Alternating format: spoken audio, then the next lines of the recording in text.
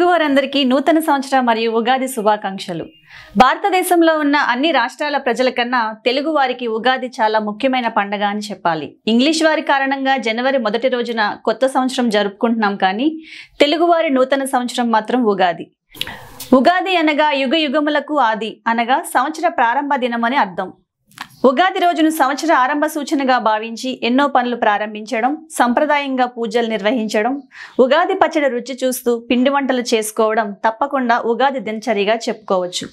అసలు ఉగాది అంటే ఏంటి? ఉగాదిని తెలుగువారి నూతన సంవత్సరంగా ఎందుకు పిలుస్తారు? ఉగాది జరుపుకోవడం వెనుక దాగి ఉన్న అసలు వాస్తవ కథ మరియు ఉగాది పచ్చడి మనకు తెలియచేసే జీవిత విశిష్టతలను ఈరోజు మీకు తెలియచేయాలనుకుంటున్నాను. పురాణ వాస్తవాల ప్రకారం సోమకుడు అనే రాక్షసుడు వేదవ్యాసుడిచే రచించబడిన వేదాలను దొంగిలించి వెళ్ళి సముద్రంలో దాక్కుంటాడు. ఈ విషయం తెలుసుకున్న వేద పండితులు ఋషులు ఈ సంగతిని శ్రీ మహావిష్ణువుకు తెలియచేసి సోమకుడి బారి నుంచి వేదాలను రక్షించడమని కోరతారు. శ్రీ మహావిష్ణువు మత్స్యావతారం పొంది సోమకుడిని సంహరించి వేదాలను తీసుకొచ్చి బ్రహ్మకు అప్పగిస్తాడు.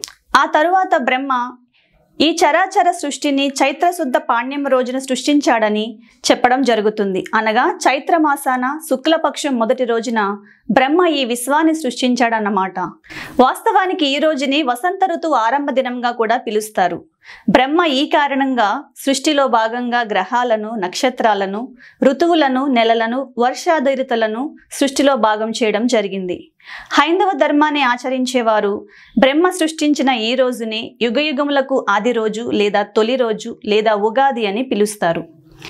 ఇది తెలుగువారి నూతన సంవత్సరం మొదటి పండుగ ఉగాది వెనుక దాగి ఉన్న అసలు పురాణ కథ ఇక ఉగాది ఏ విధంగా జరుపుకుంటారు పరిశీలించినట్లయితే ఉదయాన్నే లేచి ఇల్లు వాకిళ్ళు శుభ్రపరచుకోవడం గుమ్మాలకు మామిడి తోరణాలతో అలంకరించడం ఉగాది పచ్చడి రుచి చూడడం కొత్త బట్టలు ధరించడం చెప్పవచ్చు. ఇల్లు తుడవడం అలంకరించుకోవడం కొత్త బట్టలు ధరించడం దైవారాధన చేయడం ఇవన్నీ పండగలలో భాగమైనప్పటికీ ఉగాది పచ్చడి మాత్రం ఖచ్చితంగా ఉగాది రోజున మాత్రమే చేస్తారు. ఎందుచేతనంటే ఉగాది రోజున సంవత్సర ఆరంభ రోజుగా భావించి ఎన్నో పనులు ప్రారంభిస్తారు. కాబట్టి సంవత్సరం పొడవునా ఎదురయ్యే కష్ట సుఖాలు మంచి చెడులను సంవినయంతో స్వీకరించాలనే సందేశాన్ని ఉగాది పచ్చడి మనకి తెలియచేస్తుంది. అందుచేత షడ్రుచుల సమ్మేళనంగా కష్ట సుఖాలు మంచి చెడులను సూచిస్తూ తీపి చేదు వగరు కారం పులుపు ఇవన్నీ కలగలిసేలా ఉగాది పచ్చడి తయారు చేయడం జరుగుతుంది. ఇది ఉగాది పచ్చడి తినడం వెనుక దాగి ఉన్న మహా గొప్ప జీవిత సత్యం. ఇంతటి విశిష్టత కలిగిన ఉగాది పండుగను మన రాష్ట్రాలలో కాకుండా వేర్వేరు ప్రాంతాలలో ఇతర పేర్లతో జరుపుకోవడం విశేషం. అందులో భాగంగా ఆంధ్ర కర్ణాటకలో ఉగాదిగా పిలిస్తే తమిళ్ళో పుతాండ అని మహారాష్ట్రాల్లో గుడిపడ్వాగా మలయాళీలు విషుగా సిక్కులు వైశాఖిగా బెంగాలీలు పోయిలా బైశాఖిగా పిలుస్తారు. పేర్లు వేరైనప్పటికీ పండగ నిర్వహించడంలో పెద్దగా తేడా ఏమి ఉండదు. సో ఫ్రెండ్స్ ఇది ఉగాది తెలుగువారి నూతన సంవత్సరాది విశేషాలు.